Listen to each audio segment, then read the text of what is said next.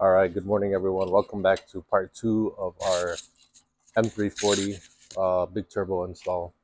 Uh, right now, we are doing the first thing is removing the turbo. Lewis is unbolting the manifold bolts at the bottom. We got a few to take off at the top, and this turbo should be ready to come out. I'll update you guys as soon as we pull this thing out and do a little inspection on it and see what we find. But I'm pretty sure it's just the uh, the shaft issue that um, the play that it has in the turbo. So.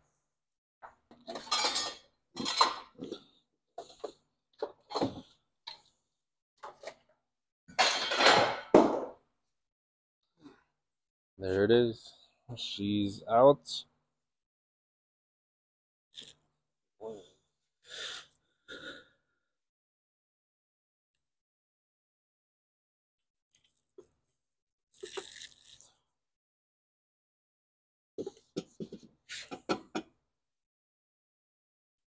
Take this off so I can take a peek at it.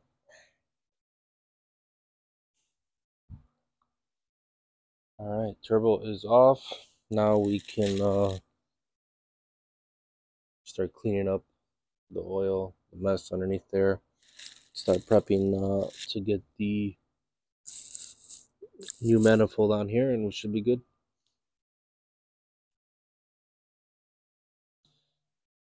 All right. Let's take a look here. How's that turbo looking? Oh, geez. Not good. So that's shot. That's going back. Um, just going to start preparing this manifold now.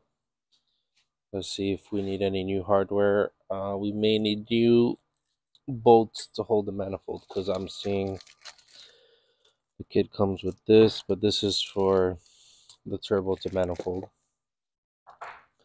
These are some wastegate fittings.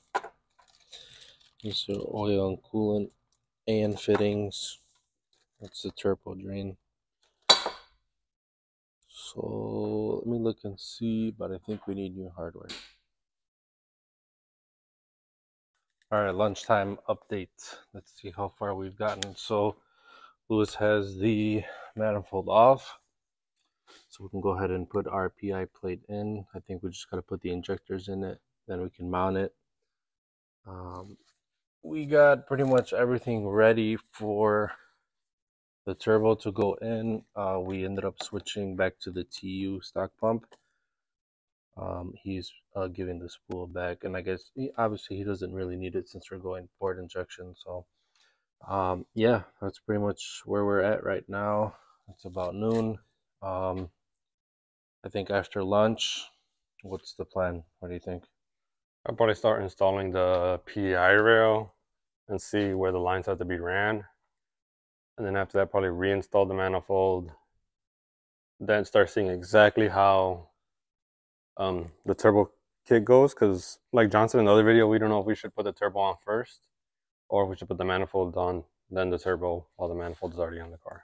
Yeah, I think um, judging based off of how like I was able to put it in, I think we're just gonna put the manifold, and then we're gonna put the wastegate from the bottom, and then we're gonna put the turbo. So it's gonna be separately. Each each item will go on separately because there was barely enough clearance uh, between the fa- the frame rail and where the wastegate needs to go on the on that manifold. So yeah, we'll figure it out. We'll keep you guys updated. Um, moving along pretty well. I think we're doing all right on time, so should have this thing ready by the end of the week for sure. But um, we'll see where we're at after lunch. All right, here's another update on the M340. We have manifold that is getting ready to go back on right now. The only issue we're running into is customer currently running this flex fuel sensor back here but this T will not fit onto that uh, fitting that's right there for the flex fuel sensor. So we're going to have to find another sensor or get something that will fit.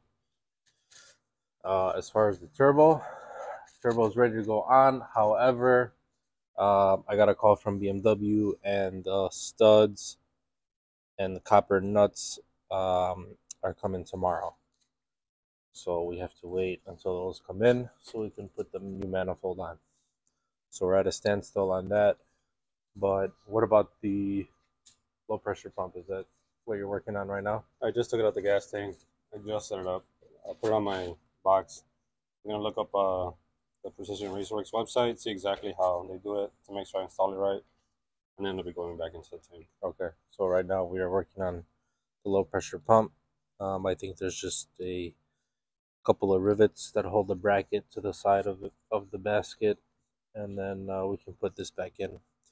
So that'll pretty much complete all the other accessories. Um, ports on, low pressure pump is going on now. Tomorrow we can start putting the turbo on and attaching all the fittings and everything. So uh, day is pretty much wrapped up right now. We've been uh, doing some tuning on some other cars. Also, uh, we're finishing up this E92 right here. Uh, we're getting a flex fuel tune for this thing here. Um, here's another, uh, this is an older car that came to us. This guy's got a motor built from us about a year ago and uh, he never really got it tuned or anything. So uh, we're going to be doing tuning on that one as well. Yeah, so that's pretty much it for this video. Uh, I think tomorrow we'll have some more work done on this.